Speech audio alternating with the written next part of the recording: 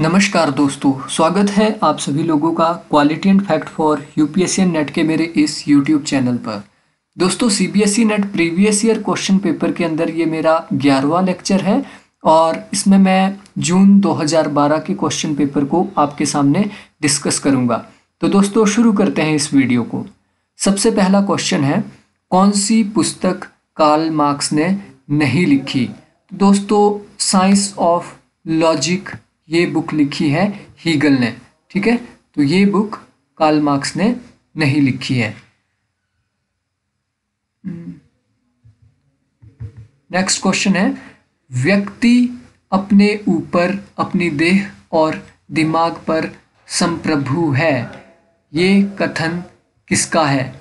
ये है जे एस मिल का। जे एस मिल का ये कथन है। क्वेश्चन नंबर तीन रजनी कोठारी की पॉलिटिक्स इन इंडिया नामक पुस्तक किस पद्धति के आधार पर लिखी गई है? दोस्तों, ये लिखी गई है स्ट्रक्चरल फंक्शनल अप्रोच के ऊपर, ठीक है? स्ट्रक्चरल फंक्शनल अप्रोच इसमें यूज़ की गई है और structural functional approach Gabriel Almond ने इसको बनाया था विकासशील देशों के अध्ययन के लिए, ठीक है? विकासशील देशों के अध्ययन के लिए। तभी ये इंडिया पे यूज़ की है इन्होंने। अरस्तु की उपेक्षा करने वाला पहला आधुनिक राजनीतिक विचारक कौन है? पहला आधुनिक राजनीतिक विचारक है मैक्यावली। हॉब्स ने भी इनकी अवहेलना की है या उपेक्षा की है।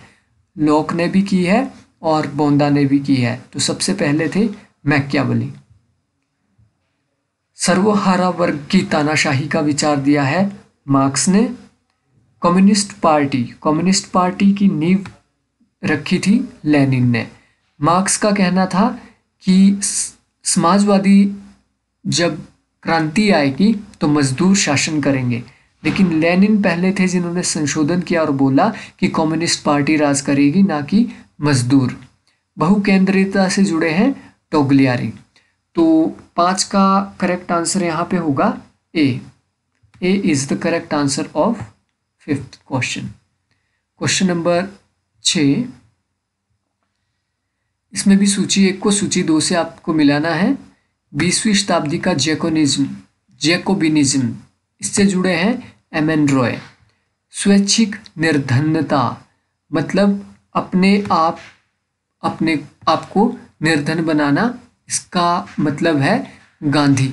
स्वैच्छिक निर्धनता से जुड़े हैं गांधी, जिस प्रकार से वो खुद भी मतलब धोती, कुर्ता पहन के, हालाँकि उनके पास सब कुछ व्यवस्थाएँ थी, उन्होंने स्वैच्छिक निर्धनता को अपनाया और इन्होंने ट्रस्टीशिप का जो सिद्धांत दिया है, वो भी इसी पर आधारित है। मैं हिंदू के रूप में जन्म लूँगा, परंतु मरूँगा नहीं।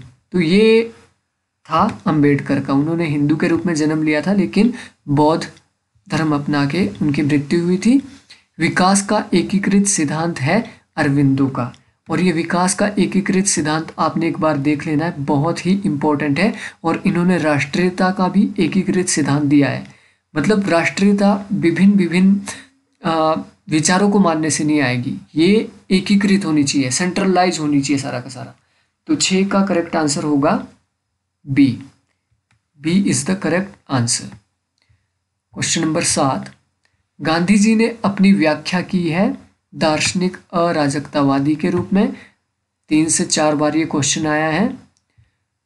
परस्व्यापी मतैक्य के सिद्धांत के की वकालत किसने की? ये परस्पर व्यापी मतैक्य का मतलब है, जिसमें बहुत सारे लोगों के विचार आपस में मिलते हों। तो ये जॉन रोल्स ने सिद्धांत दिया है अपने वेल्स ऑफ़ इग्नोरेंस के अंदर, ठीक है? अज्ञानता के पर्दे के अंदर। निम्नांकित में से किसने सामान्य व्यवस्था सिद्धांत की अवधारणा को सबसे पहले विकसित किया? तो ये है लुडविंग वॉन वटरलानफी और ये ये एक बायोलॉजिस्ट थे तो सबसे पहले ये बायोलॉजी में आई थी और रॉबर्ट के मर्टन, रॉबर्ट के और मर्टन रॉबर्ट के मर्टन, इन्होंने स्ट्रक्चरल फंक्शनल अप्रोच यूज़ की है सोशोलॉजी के अंदर और टेलकोट पर्सनस ने भी सिस्टम अप्रोच यूज़ की है सोशोलॉजी के अंदर।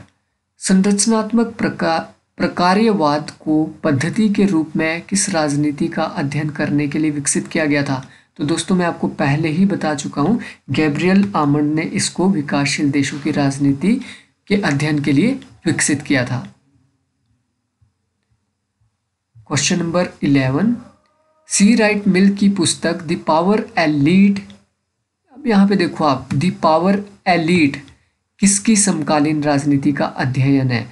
पावर एलीट 1956 में लिखी गई है। अमेरिका उस टाइम पावर पावर में था और वहाँ पे जो एलिट थे, वो किस तरीके से राजनीति में आ रहे थे, उसका इसमें वर्णन किया गया है 1956 के अंदर। तो ये यूएसए के ऊपर है।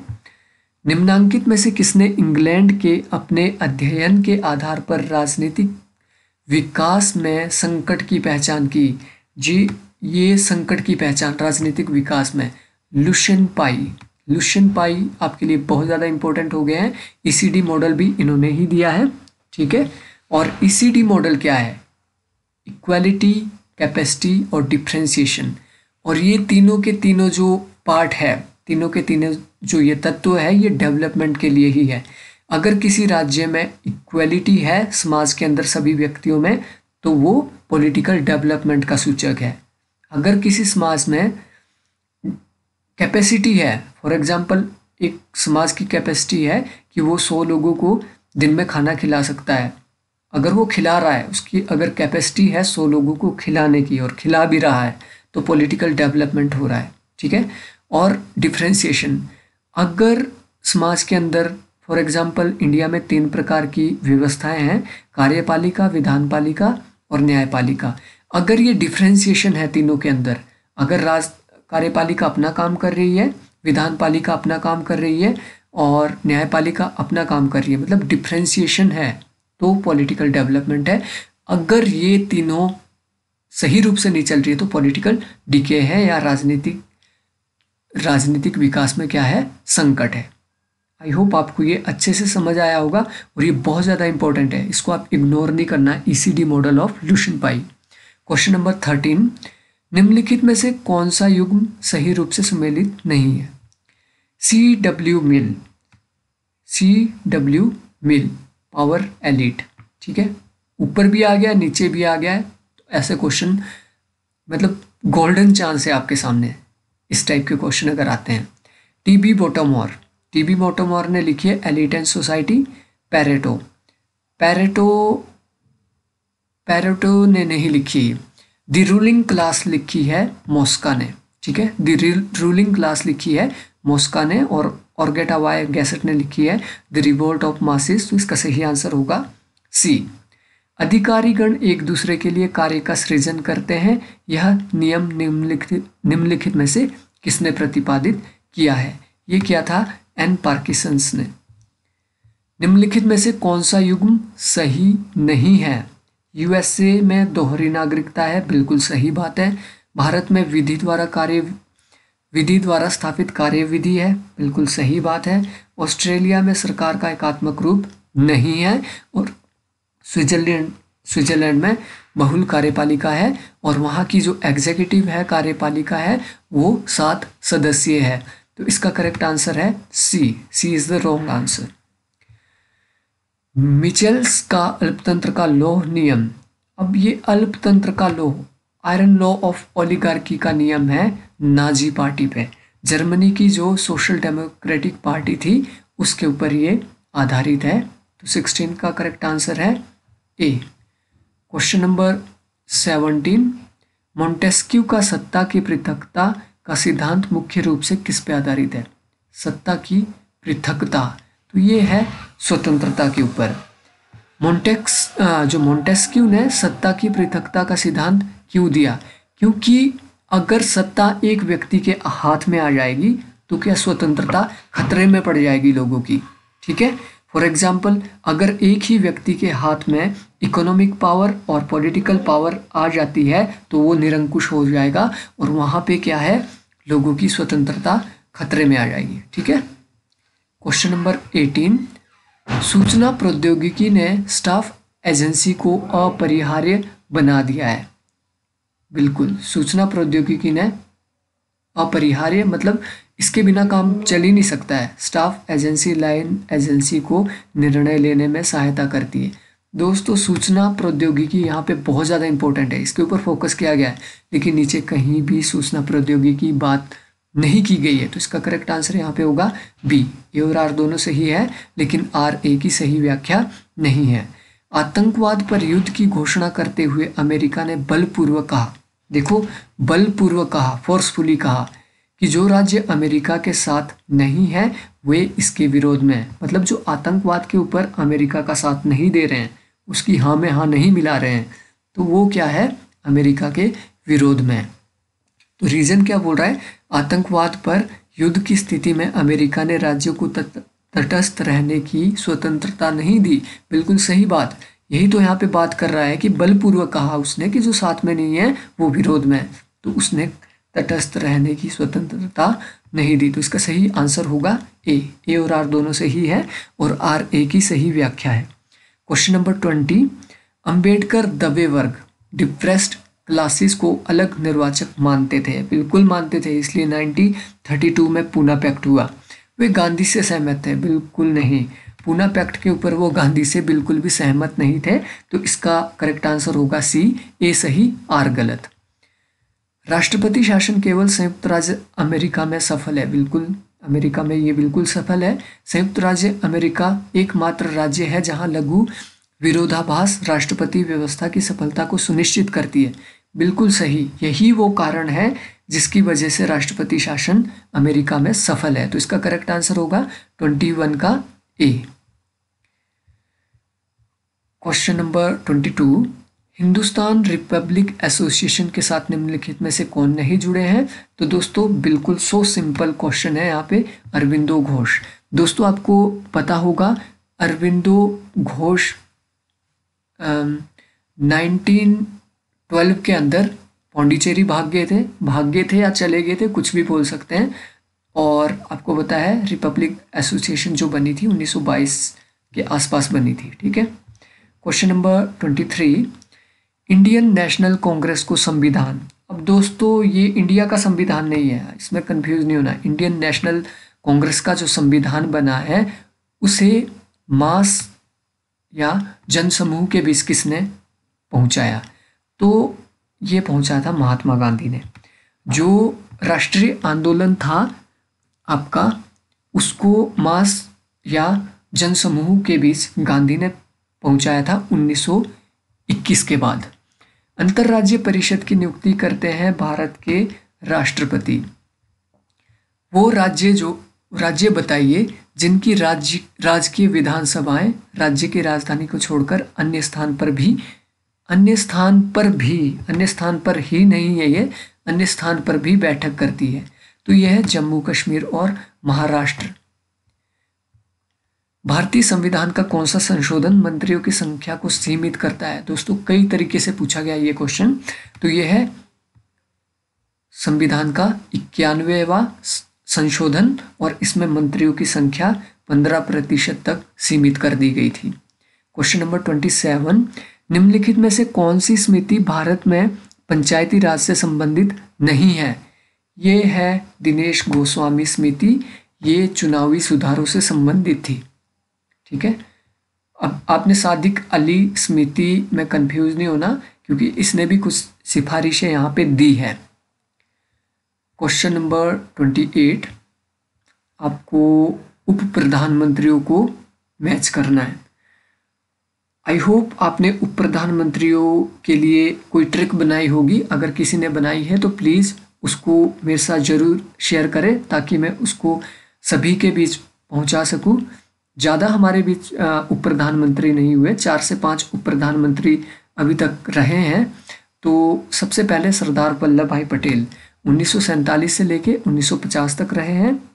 उसके बाद आपके चौधरी चरण सिंह, चौधरी चरण सिंह रहे हैं उन्नीस सेवेंटी सेवन से सेवेंटी नाइन तक।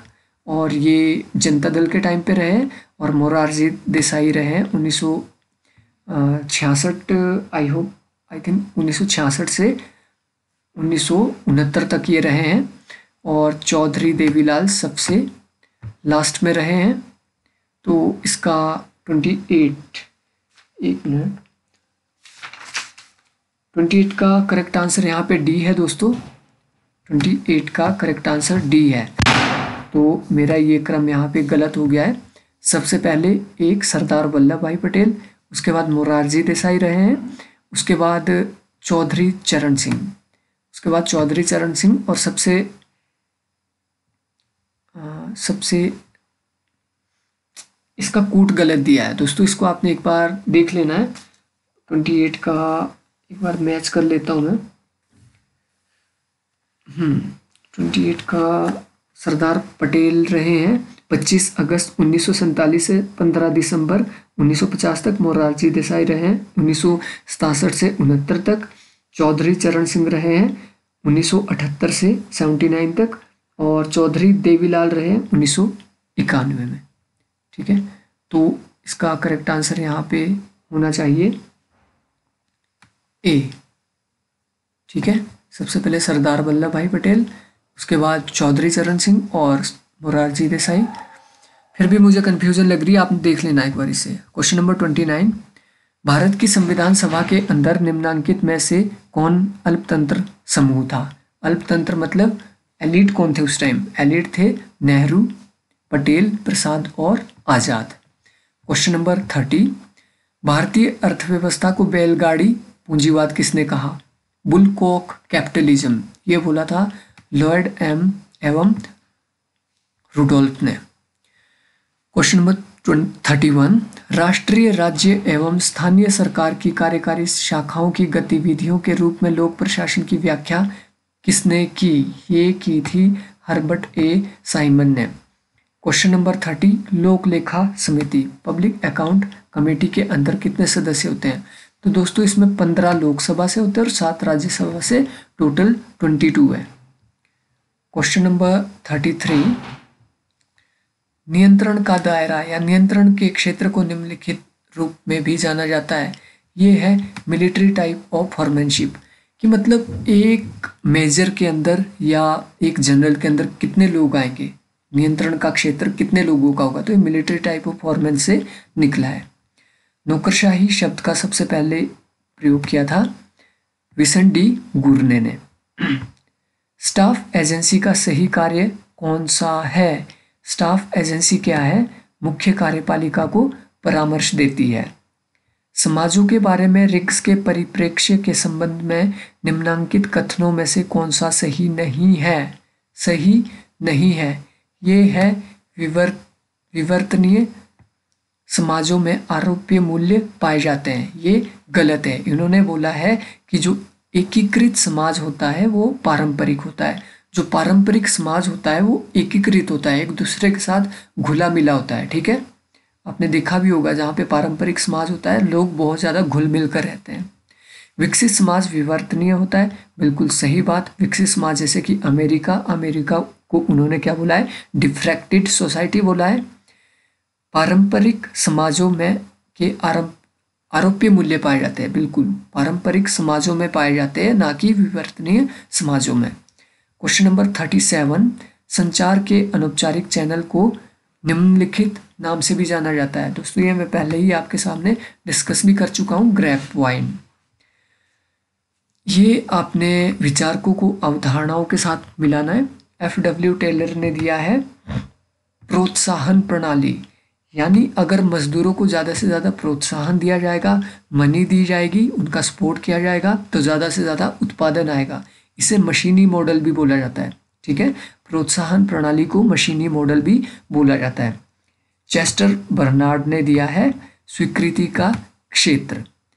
अगर अगर सुपरवाइजर के द्वारा दिए गए आदेश वर्कर की, वर्कर स्वीकार करते हैं, वर्कर के अगर वो इंटरेस्ट में है तभी वर्कर उसके ऊपर काम करेगा अदरवाइज़ वो उसको इग्नोर कर सकता है। यही है स्वीकृति का क्षेत्र।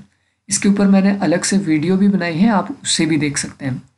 हेनरी फ्योल हेनरी फ्योल ने दिया है स्केलर स्केलर ठीक है? स्केलर प्रोसेस के साथ मूने और रिले भी जुड़े हैं। फ्रेडरिक हर्सवर्ग ये है असंतोषकारी। हाइजीन थ्योरी दी है। इसके ऊपर मेरी अलग से वीडियो है। आप उसको देख सकते हैं मोटिवेशन थ्योरी के अंदर।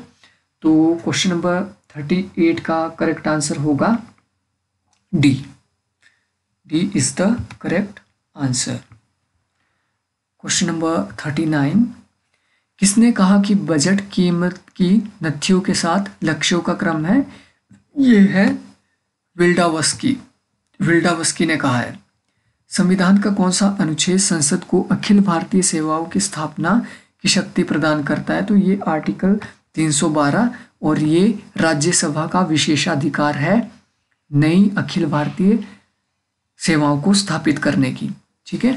तो अभी हमारे पास तीन प्रकार की अखिल भारतीय सेवाएँ हैं, आप लोगों को पता होगा I A S I P S और I F S question number four और आई एफ़ एस है इंडियन फॉरेस्ट सर्विस इसको आप फॉरेन सर्विस के साथ कंफ्यूज नहीं करना।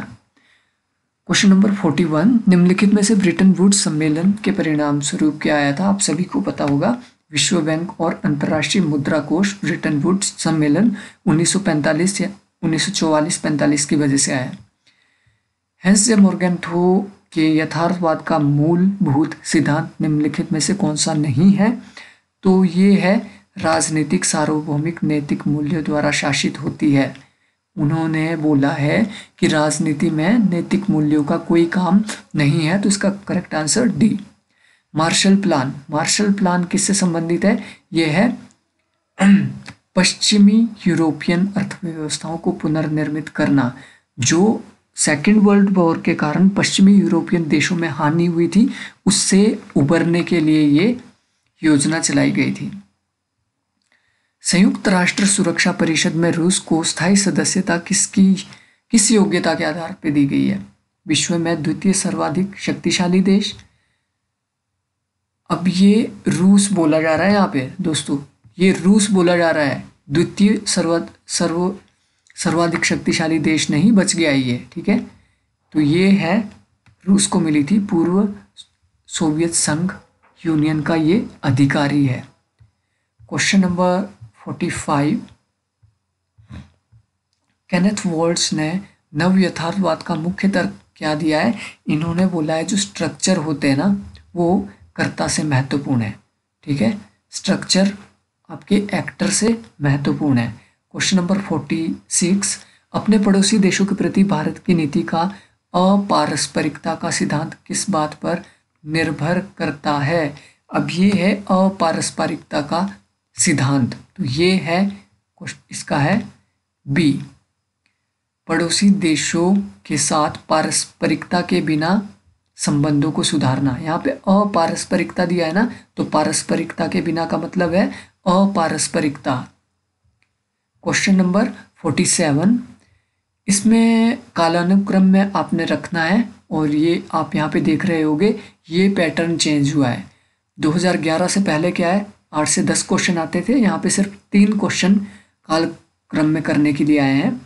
तो देखते हैं भारत रूसी मैत्री संबंध 1971 में हुआ था, जब अमेरिका ने अपने जहाज़ भेजे थे पाकिस्तान की सहायता के लिए। पोखरण में भारत का प्रथम आणविक समझौता हुआ था 1974 में। क्यूबा संबंधी मिसाइल संकट हुआ था 1960-61 में। भारत के संरचनात्मक समायोजना समायोजन कार्यक्रम को अपनाना। तो ये भारत ने उन्नीस सौ इक्यानवे में आपका एलपीजी को अपनाया था। तो इसका सही कालक्रम होगा एक, तीन, दो, चार। एक, तीन, दो, चार। एक, तीन, दो, चार यहाँ पे कहीं भी नहीं है। तो मुझसे कुछ गलती हुई है, इसका मतलब? हम्म बिल्कुल सही। सबसे पहले तो क्यूबा मिसाइल संकट हुआ है। तीन एक, दो, चार। तीन, एक, दो, चार। तो इसका करेक्ट आंसर है B question number forty eight विश्व व्यापार संगठन डब्ल्यू टी ओ पैरवी करता है कि मुक्त व्यापार सबके लिए समृद्धता लाता है, इसलिए इसे बढ़ावा दिया जाना चाहिए। बिल्कुल सही बात है। व्यापार की प्रणाली के ज़रिए देशों का वैश्विक अर्थव्यवस्था के साथ एकीकरण, उन्हें वस्तुओं का बाहर निर्यात करने तथा अपनी ज़रूरत की वस्तुओं का आयात करने में सहायता करता है।